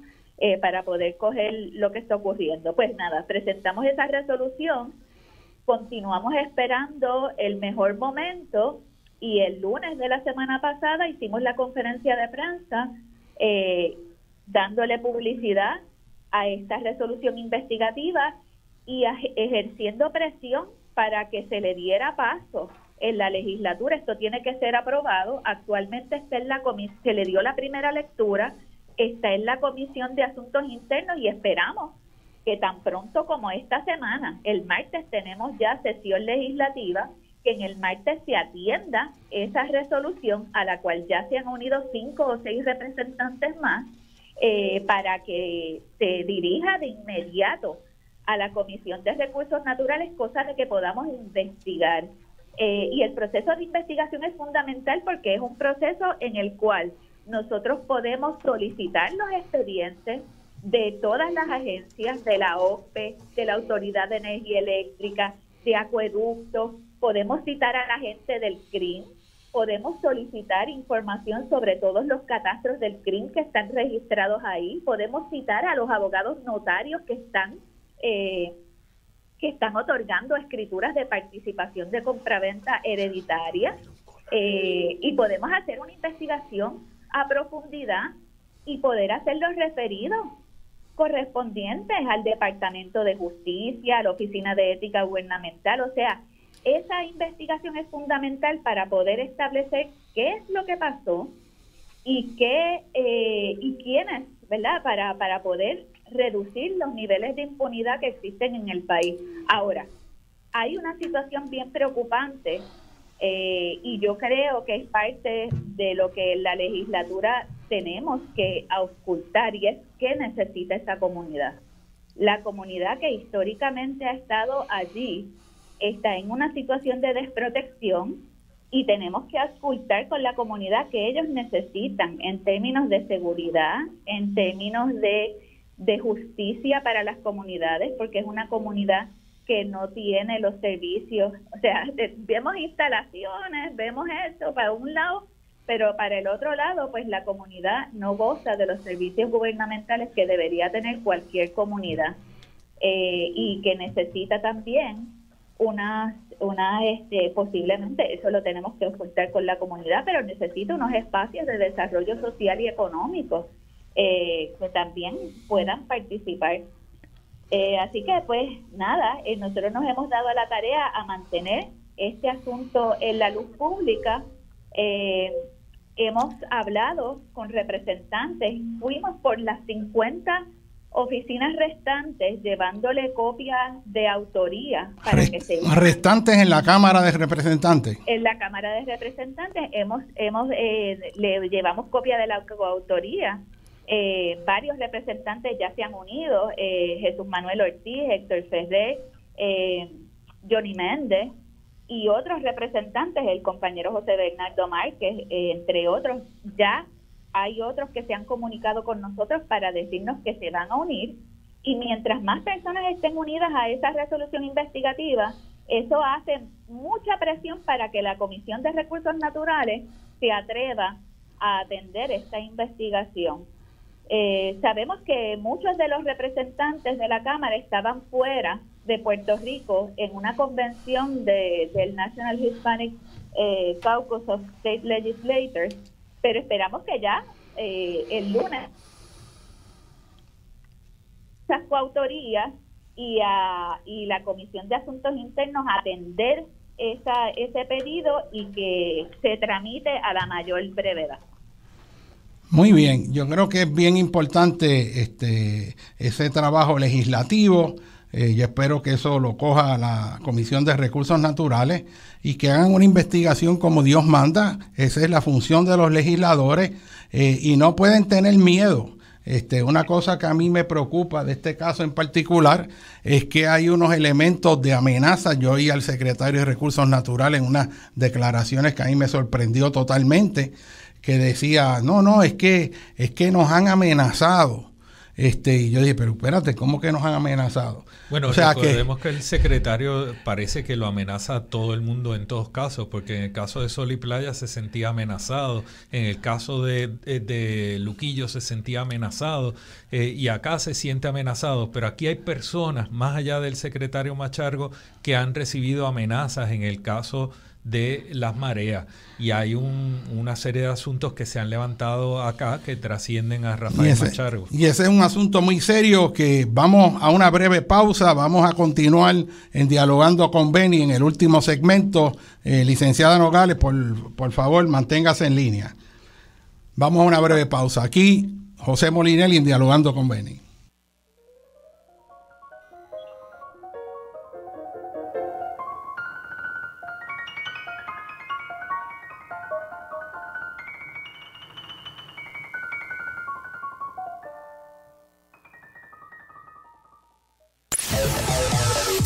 Sintoniza Radio Isla 1320 AM y o radioisla.tv. Después que tenga mi familia, mis amigos, mis doctores y mi salud, lo tengo todo. Lo tengo todo. Lo tengo todo con Triple S Advantage lo tienes todo, un plan completo de salud con una gran variedad de beneficios y servicios. Además, una gran red de amigos, familiares y profesionales de la salud que estarán a tu lado para que tengas una vida saludable. Cámbiate hoy a Triple S Advantage, una gran red, una gran vida. Estás escuchando Dialogando con Beni por Radio Isla 1320 y radioisla.tv. No basta con decir que no eres racista. Te invitamos a ser antirracista. El antirracismo es utilizar tu voz y tu privilegio, sea cual sea, para denunciar el racismo y detenerlo.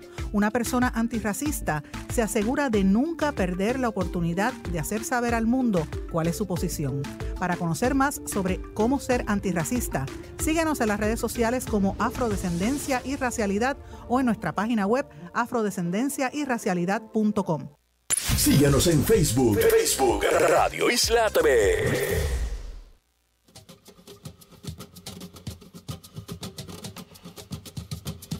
Sin miedo sientes que la suerte está contigo, jugando con los duendes, abrigándote el camino, haciendo a cada paso lo mejor de lo vivido, mejor vivir sin miedo,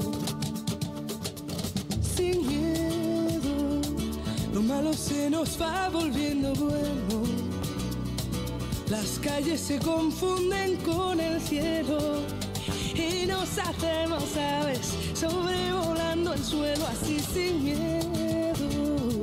Si quieres las estrellas, vuelco el cielo. No hay sueños imposibles ni tan lejos.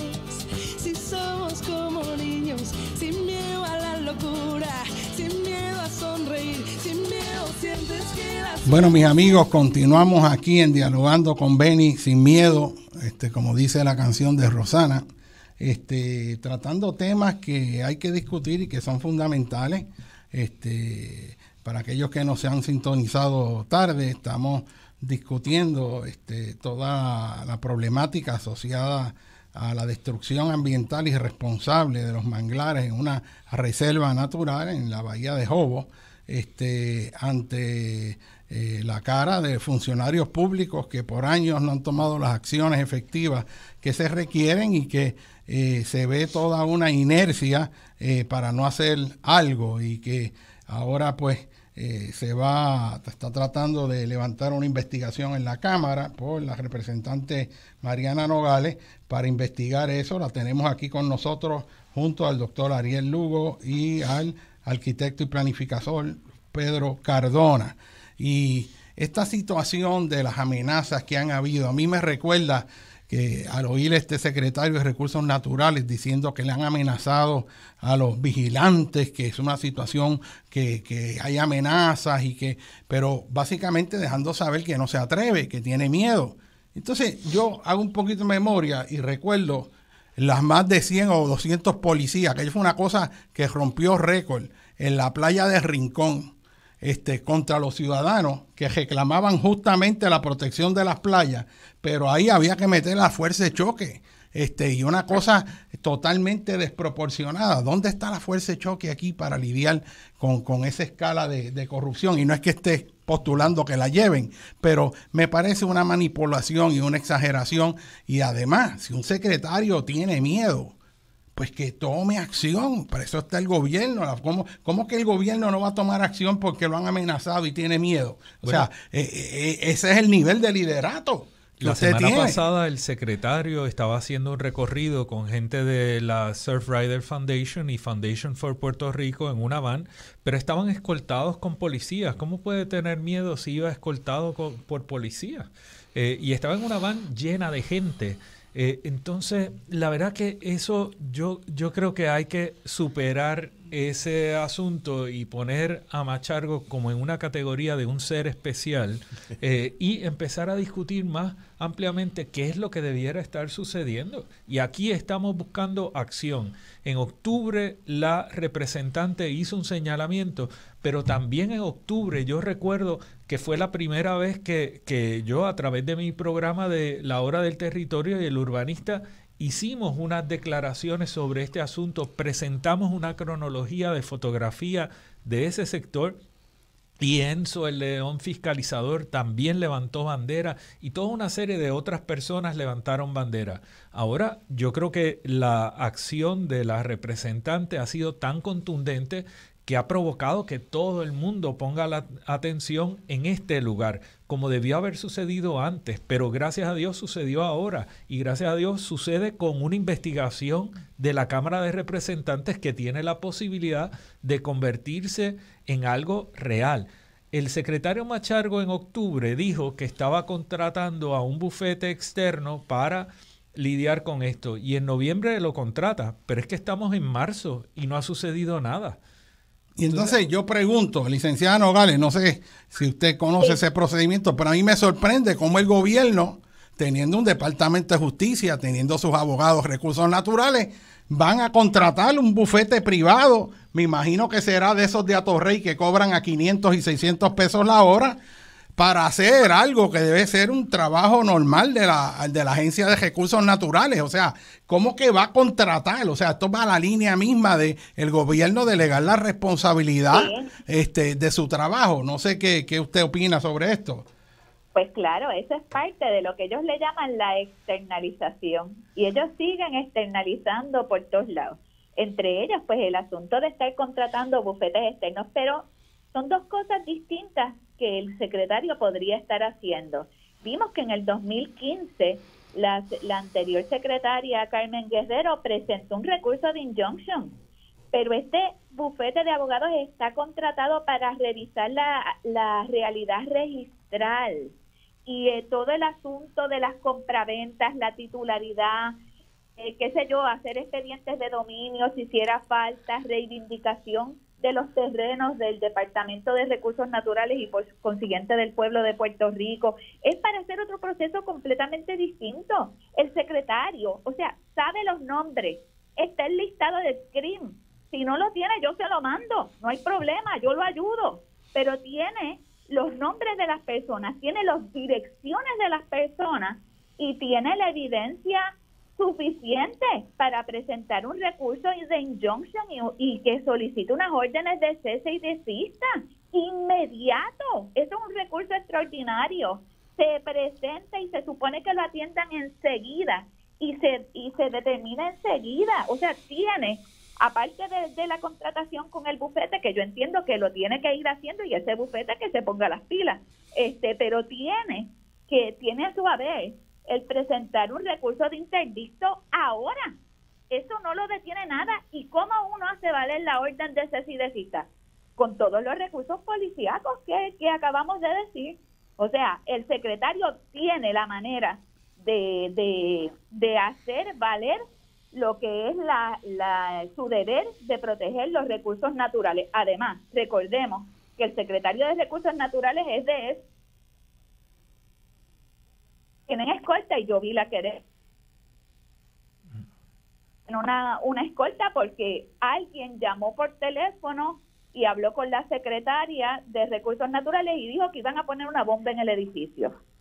Así que el secretario yo no sé si es que no no se siente seguro con la escolta que ella tiene y quiere más escoltas, pero esa la tiene desde hace tiempo. Sin embargo, me llamó la atención que no hay ninguna querella del secretario para justificar esas escoltas que tenga que ver con la situación de Salinas.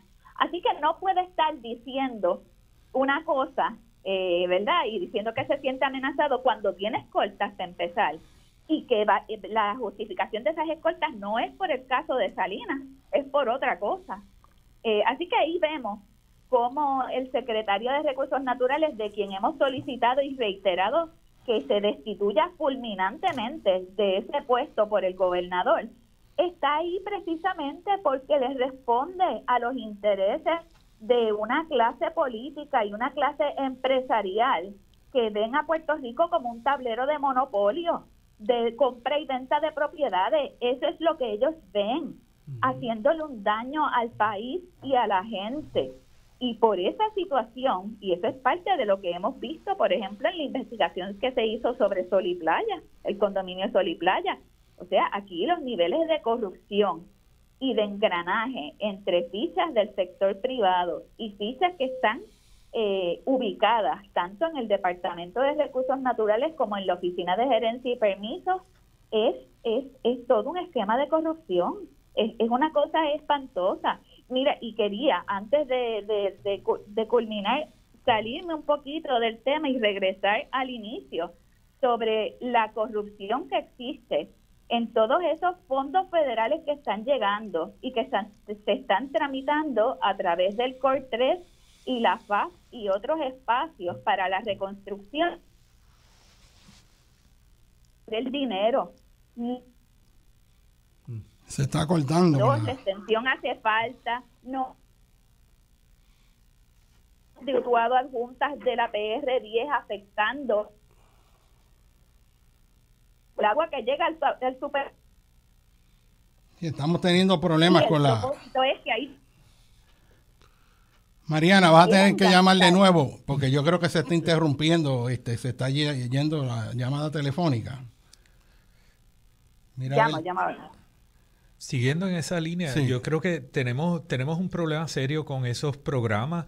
Eh, en los casos donde yo he estado en reuniones eh, con distintos grupos eh, que administran fondos de recuperación, a mí me sorprende que más del 90% de las personas que están presentes en estas reuniones son consultores de extranjeros y de agencias, de empresas privadas fuera de la agencia que tiene a cargo esos fondos de recuperación.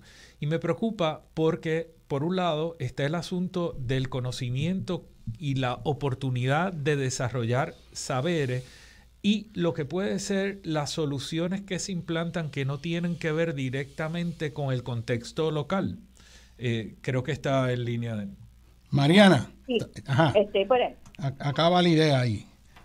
Pues mira, que, que también quería traer eh, a la mente de la gente, que lo tengan muy presente, que todo este proceso de reconstrucción no está dirigido por los mejores intereses del país y de la gente, está dirigido por un interés único de hacer dinero, eh, de gastar ese dinero federal, no importa si sea necesario o no extender la PR22 o extender la PR10, para la cual ya hay certificados 278 millones y que, y que eso va a afectar el recurso agua y el agua que se necesita en San Juan y que llega a San Juan a través del superacueducto, entre otros, y que también afecta a la agricultura y afecta otros espacios, el nivel de, o sea, este gobierno, y es lo que traía ahorita, ve a Puerto Rico como un tablero de monopolio.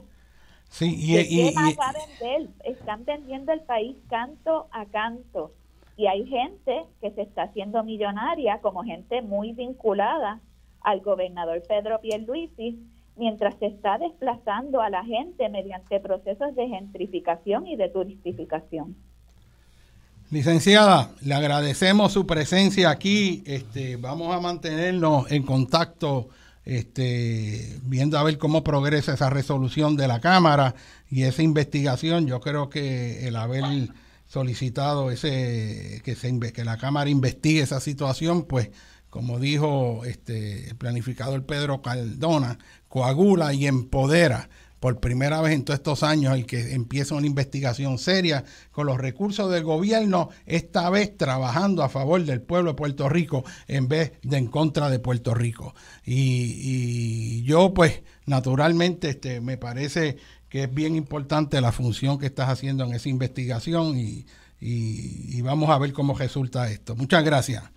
Muchas gracias. Claro que sí. Este, eh, me gustaría pues poner este, y ampliar, ¿verdad? Este, varios temas. Pero algo que quiero decir aquí y quiero salir en defensa, este, que no puede quedar afuera, es que yo quiero nuevamente manifestar mi respeto al trabajo que está haciendo Eliezer Morena. Eliezer se ha metido por todos lados, está dando la lucha fuerte de dar cara, de enfrentarse a las situaciones difíciles este, mira que le han tirado los psicofantes eh, eh, del circo, eh, pero se ha mantenido ahí dando la cara por este país con valentía, con principios, con arrojo.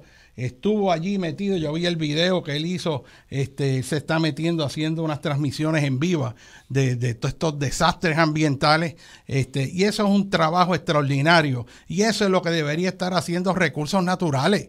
Este, o sea, aquí tenemos de nuevo otro ciudadano que está tirándose a la calle en defensa del país.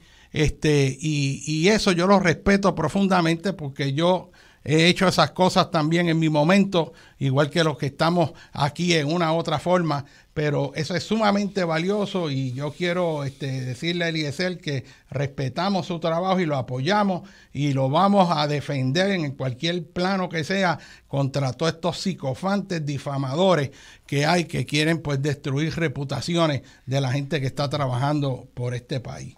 Y así fíjate, como decía Ariel al principio, que cuando se organizaron las agencias ambientales allá a principios del 70, yo me acuerdo que yo estaba acabado de graduar de escuela superior y en ese momento estaban los documentales de Jacques Cousteau.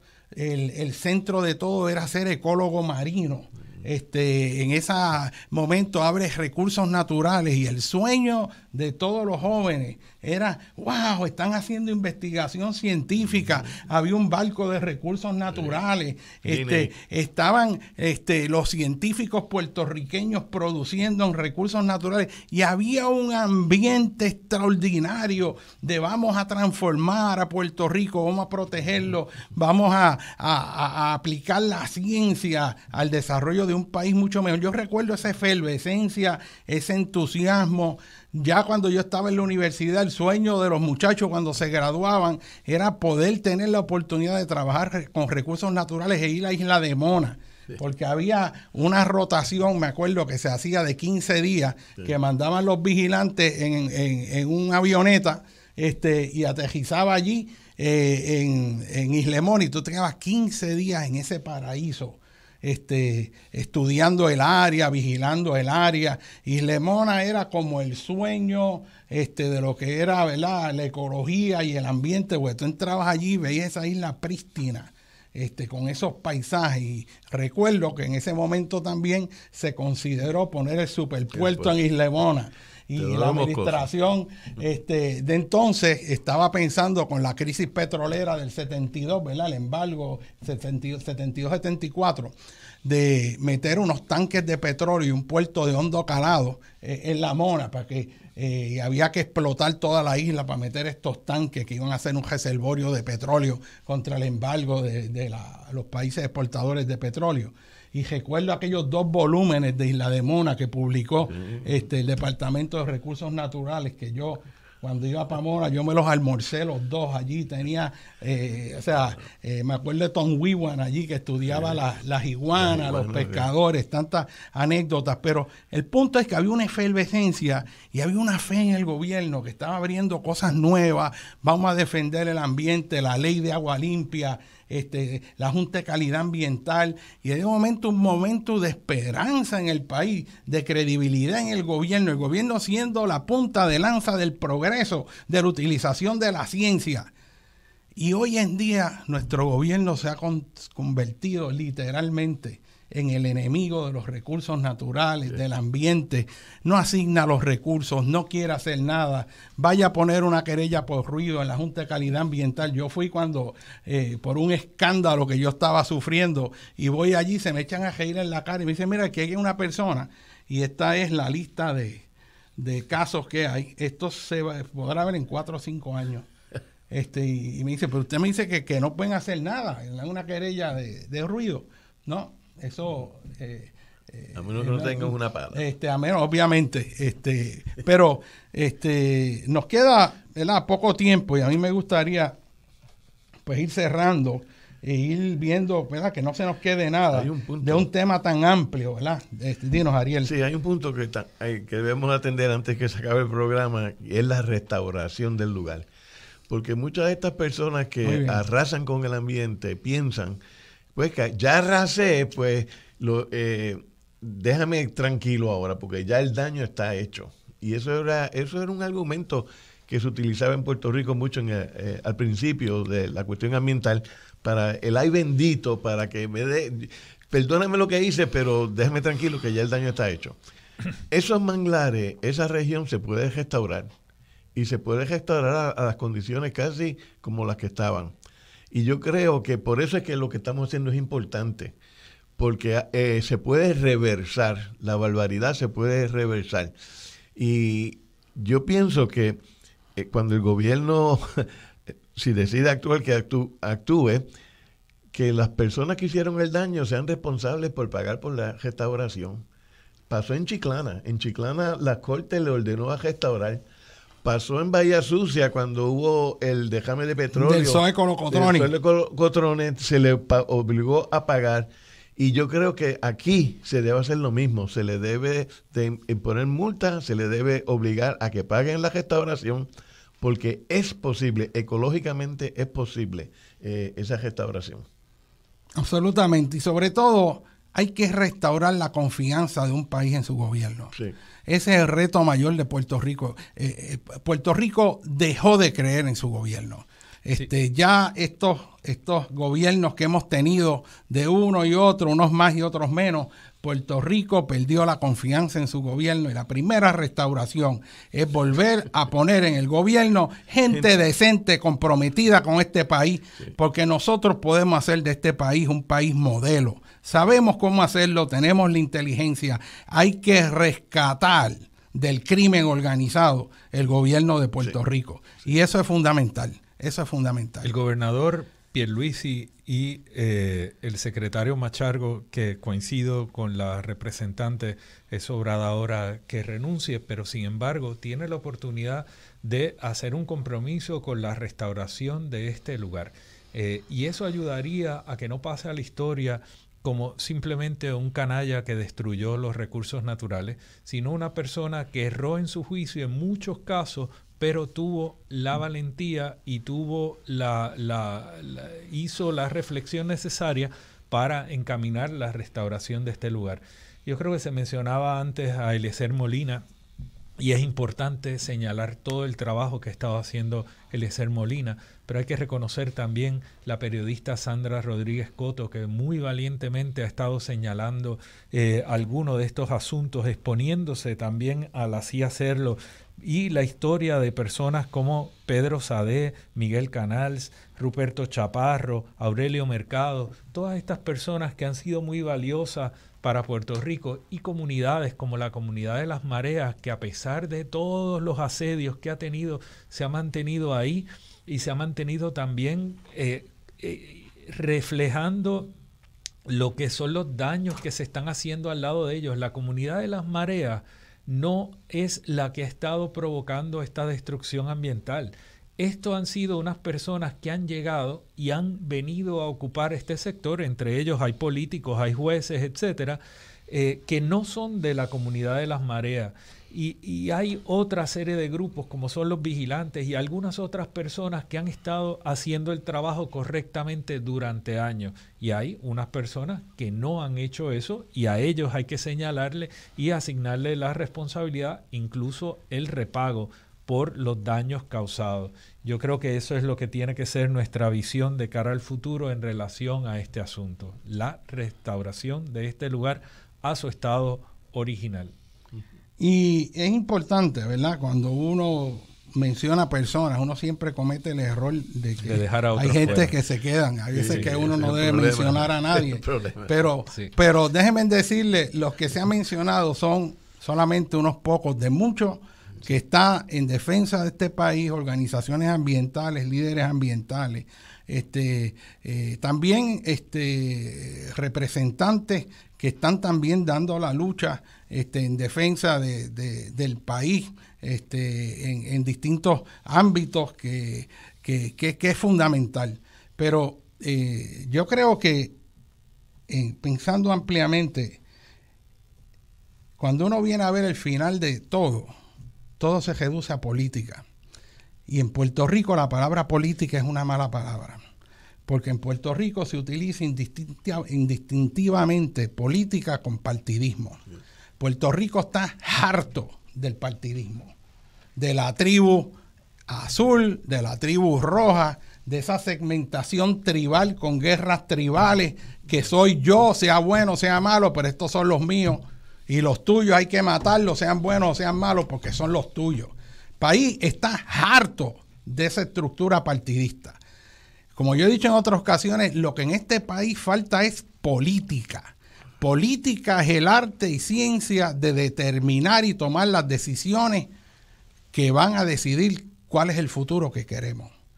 Y en eso cada puertorriqueño tiene que participar y dejarse sentir, porque cuando nosotros no participamos y nos quedamos callados, son estas tribus, estas gangas partidistas las que se apoderan de las decisiones, de los recursos del país y lo que hacen es que nos empobrecen y trabajan contra nosotros. A mí a veces me duele mucho cuando veo gente que dice, no me hablen de política, yo estoy harto de la política. Ah, si eso es política, yo no. Mire, distinga lo que es el partidismo tribal de la política. La política es la discusión inteligente, sana, de cuáles son las mejores acciones que podemos tomar para resolver nuestros problemas. Es la discusión de cómo vamos a bregar con el crimen, cómo vamos a bregar con la sostenibilidad ambiental, cómo vamos a hacer una isla sostenible, cómo vamos a incrementar nuestra soberanía alimentaria, cómo vamos a potenciar y mejorar el sistema educativo esa es la discusión política, son las ideas, qué políticas debemos implantar, cuáles son nuestras guías. Pero ese alejamiento que hay del proceso de participación política es muy peligroso y sobre todo aleja a la mejor gente cuando los psicofantes empiezan a tratar de destruir como tiburones a la gente joven que da un paso adelante para servirle al país.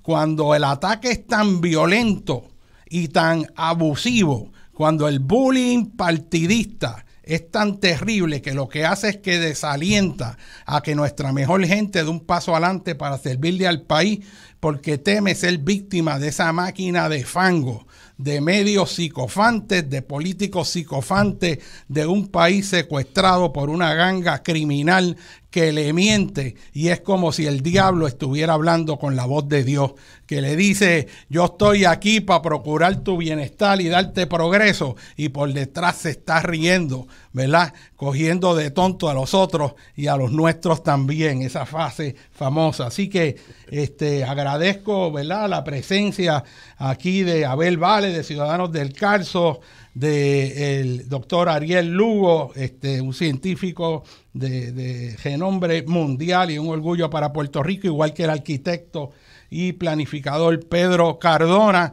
Estamos aquí desde luego a la licenciada Mariana Nogales. Mi querida sobrina, te mando un abrazo bien fuerte allá. Sigue con esa lucha que hay que defender en todos los planos a este país. Así que gracias también a la familia Cerezo por el privilegio que me concede de mantener esa tradición de Benny Frank Cerezo, de dar un espacio para la discusión valiente y seria en favor del país.